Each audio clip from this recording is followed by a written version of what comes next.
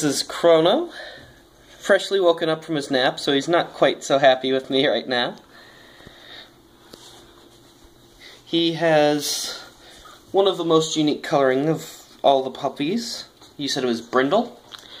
He used to be. He's gotten to be more of just tan and black. I see. Tan black blend. Okay. Got Watson, very you can't chew on that. most common thing said in our household lately. Watson, you cannot chew on that. Can see he has a very dark face with a bright pink nose.